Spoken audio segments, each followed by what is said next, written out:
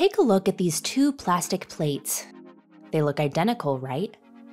But one of them actually contains a flame retardant while the other doesn't. It's important that we figure out which of these plates is which, since additives and fillers can affect the recycling process.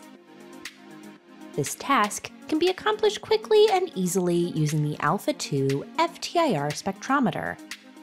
To begin, we'll take a background measurement without the sample.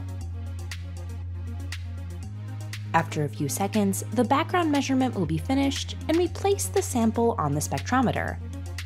We can make sure the sample is properly placed by looking at the preview measurement.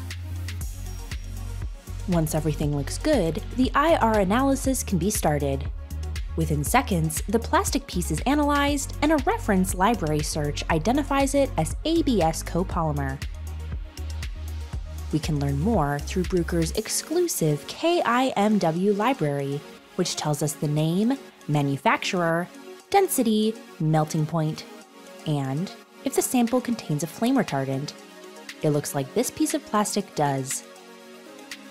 FTIR spectroscopy is also incredibly versatile, so it's perfect for dealing with the broad sample variety that's found in the recycling industry.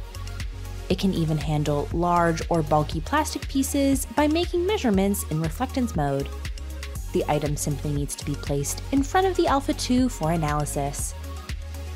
FTIR spectroscopy can be used to analyze practically any type of polymer, no matter its shape, size, or chemical composition from small flakes and pellets, to pigments and monomers, to large copolymer pieces, even carbon filled elastomers.